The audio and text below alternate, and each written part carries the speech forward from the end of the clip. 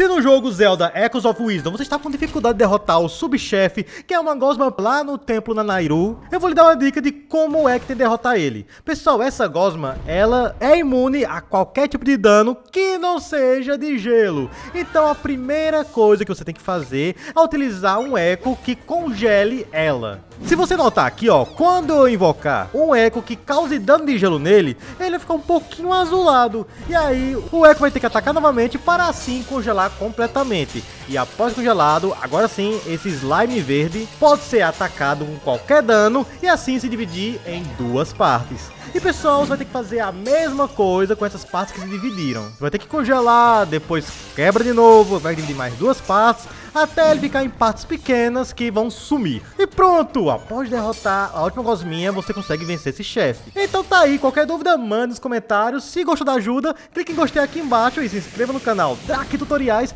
para acompanhar mais dicas de games que nem esta. Então até a próxima e falou!